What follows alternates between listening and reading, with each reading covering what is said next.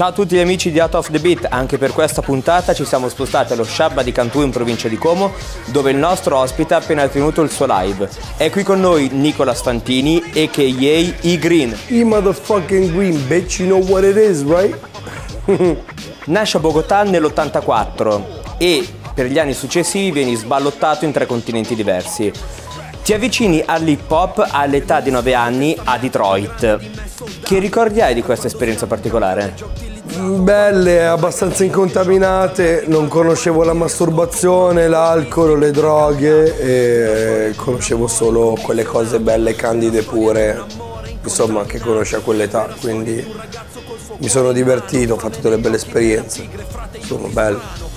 Alla fine degli anni 90 c'è stato come un colpo di fulmine fra te e l'hip hop della scena italiana. Inizia a scavare nelle viscere del rap made in Italy. Da dove è arrivato tutto questo bisogno di saperne sempre di più?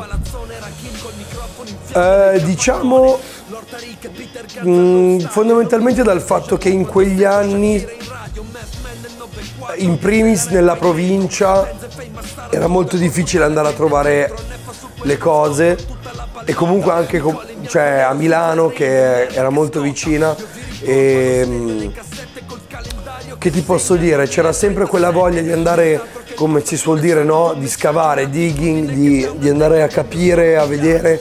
Ah cazzo lui mi ha dato quella cassettina quello ha fatto il pezzo con quello, ah cazzo che allora poi c'è anche quello, quel featuring, allora uno non finiva mai di di, di, scoprire gente nuova e ti veniva comunque lo stimolo di, di, eh, di avere una visuale il più totale possibile, no? si cercava di non, di non fermarsi su una cosa, ovviamente c'erano gli artisti di spicco, io per esempio ho iniziato con gli articoli come, come tanta gente penso, e, però sai, senti le robe in una compilation, c'è un altro pezzo e poi un altro pezzo ancora e poi è difficile spiegare un, un'attitudine o una cosa che ti viene un, una sorta di sentimento che, che, ti arriva ascoltando le cose, no? Tu eh, ai tempi non c'era, non c'era, il tubo, non c'era internet, eh, non c'erano neanche i cellulari, quindi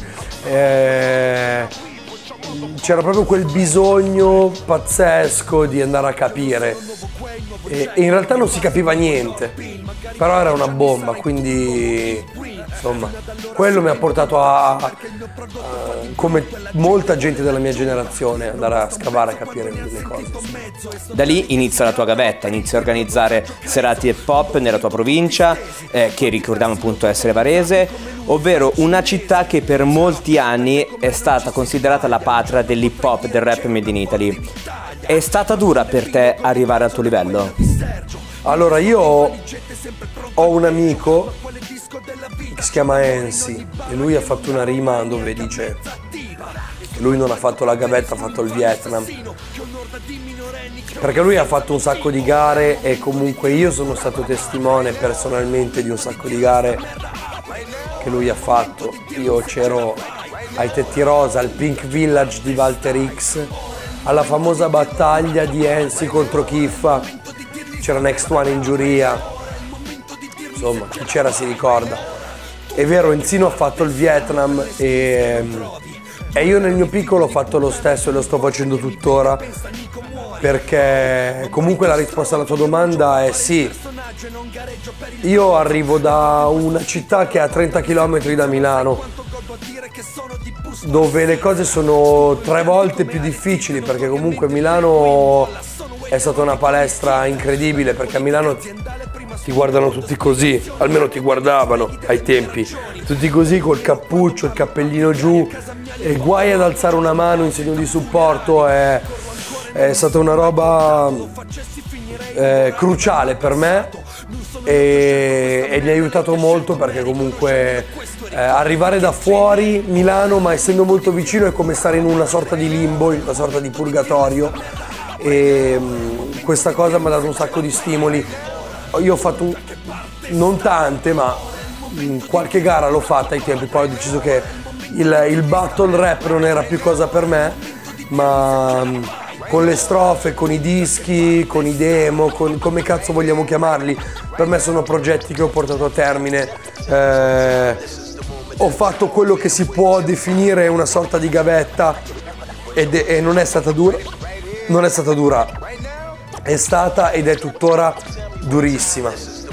Chi più o meno può riconoscersi nelle cose che dico, capisce quanto cazzo è, è una fottuta giungla, ma nel vero senso della parola. Quindi sì, la, la, la risposta quanto è stata dura è stata molto dura, molto, e lo è tuttora, perché comunque non mi sento per niente arrivato, almeno a dove io mi sono prefissato di arrivare.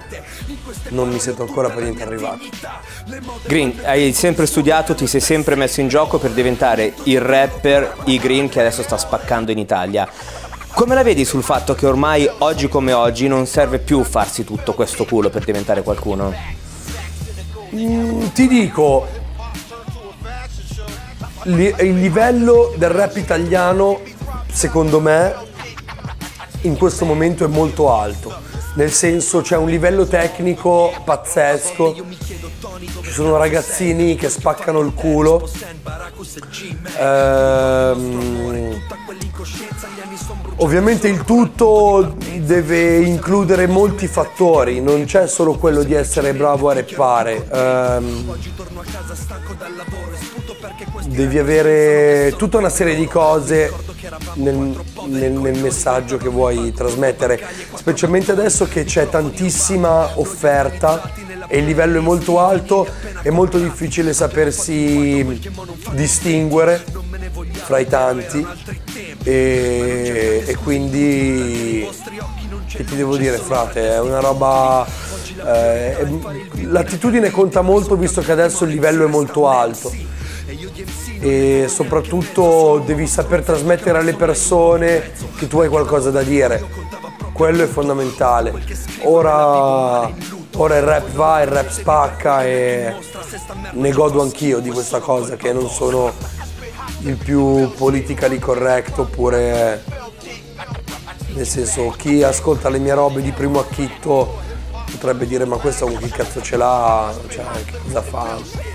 Insomma è un discorso un po' complesso, però eh, adesso è, è, è è il momento in cui il rap italiano sta vivendo quello che credo il rap francese ha vissuto dieci anni fa. Quindi è solo una questione di cicli e di momenti, però per ora secondo me va tutto alla grande, è bella lì. Si è considerato da tutti un diverso nel rap italiano.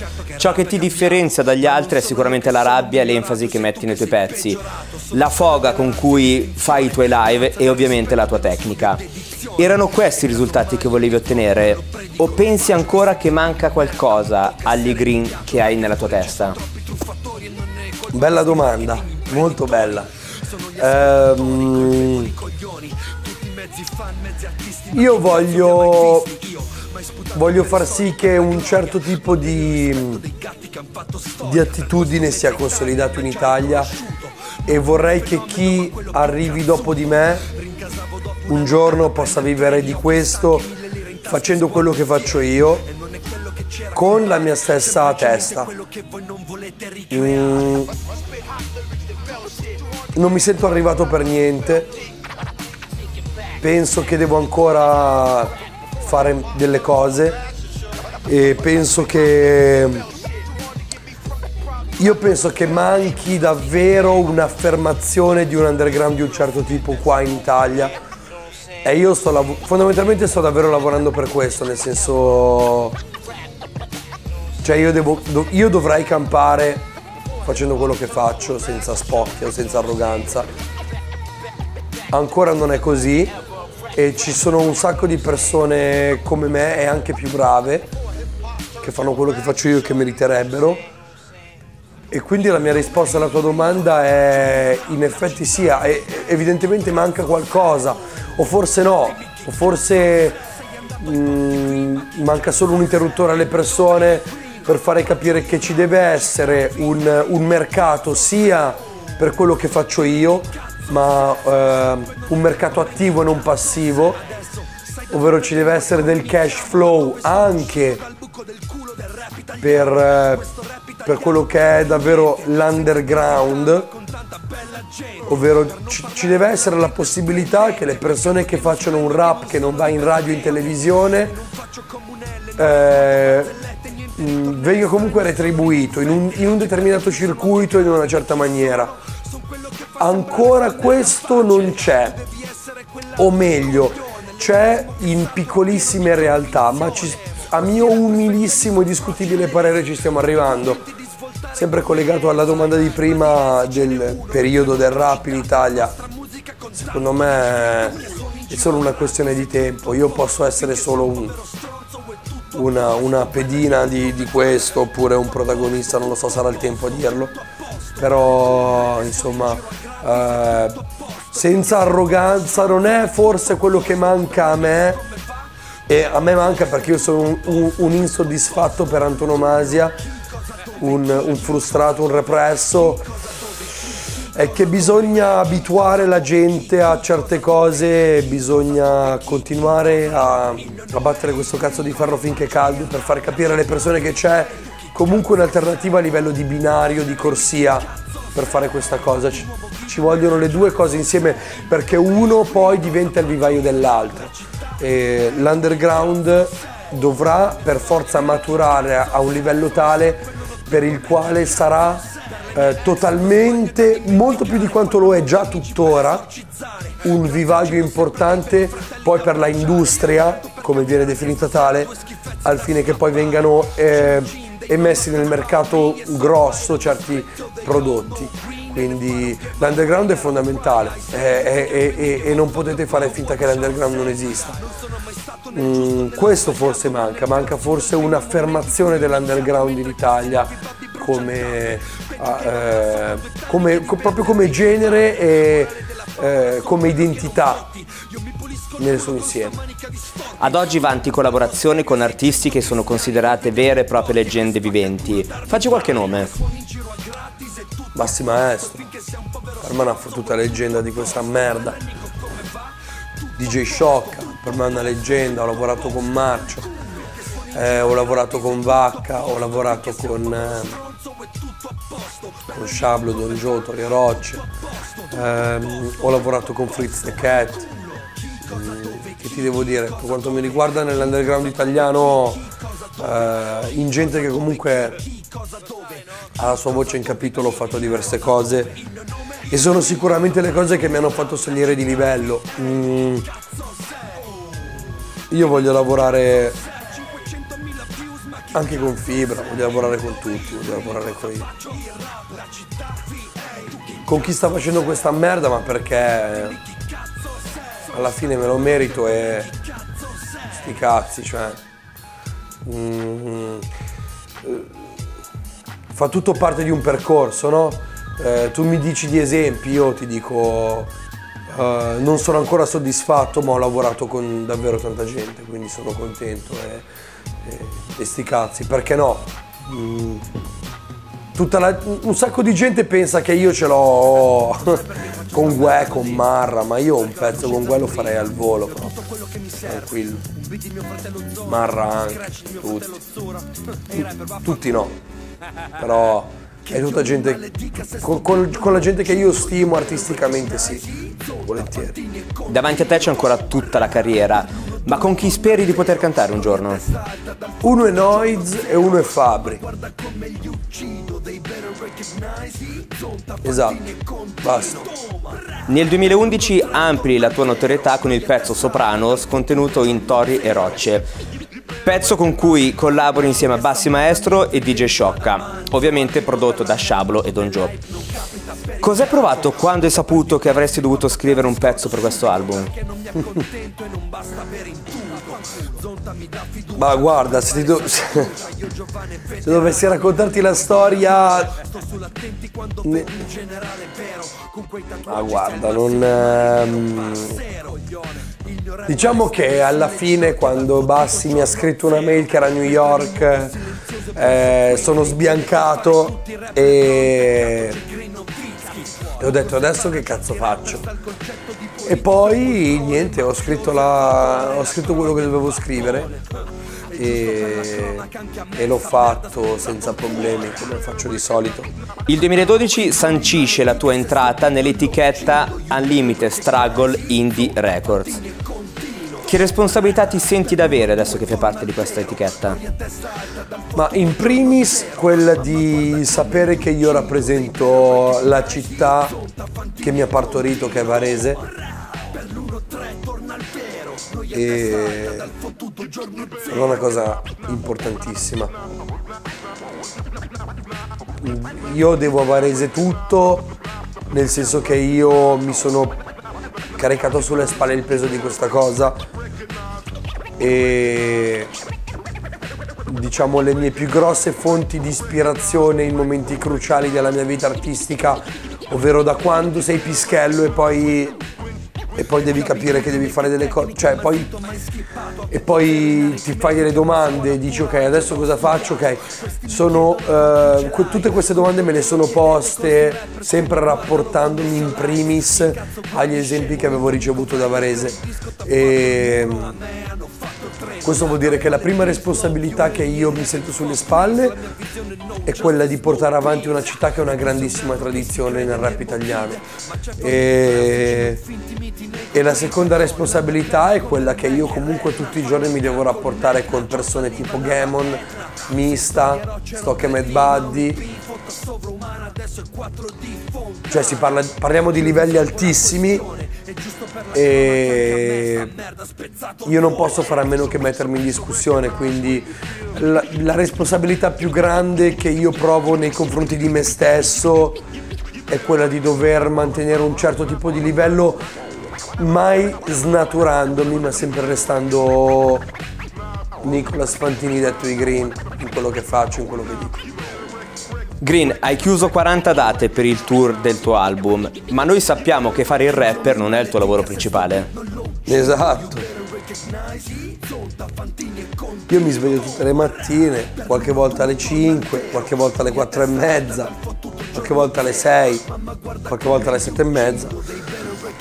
Lavoro per un'azienda come tante persone, il rap eh, mi toglie molto tempo anche mentale, cerco di starci dentro ma non è facile. Tu mi hai appena detto 40 date, io manco lo sapevo.